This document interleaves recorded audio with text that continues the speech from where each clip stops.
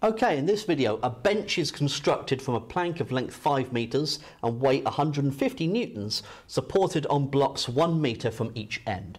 The bench can be modelled as a uniform rod resting on smooth supports. Find the maximum weight of a person who sits on the end of the bench if the bench is to remain in equilibrium. Okay, so let's draw a diagram so we can see what's going on here. Here's my bench. Now, uh, we've got two supports here um, one meter from each end. Okay, so I'd have one here and one here. Now, for my diagram, I'm going to draw it so the person who's sitting on the end of the bench is here. Okay, so there's going to be a weight working downwards.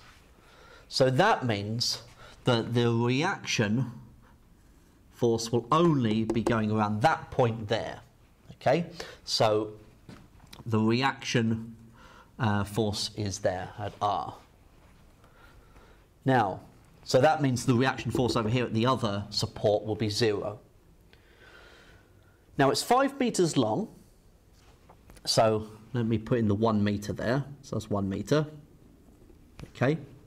Um, so that means it will be two and a half meters long where its center of mass will be.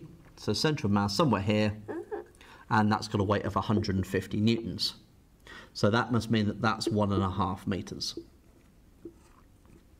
Okay, so let's call that point A, point B, uh, let's call that point C, that point D. Okay, right, so um, if I take moments about point B,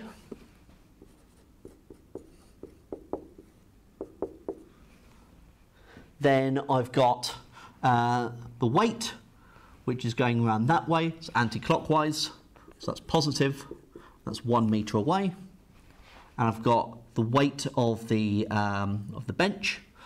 That's going around that way, so clockwise, so negative. So take away 150 times by 1.5. That's got to be equal to zero. And so the weight is 150 times the 1.5, which is 225.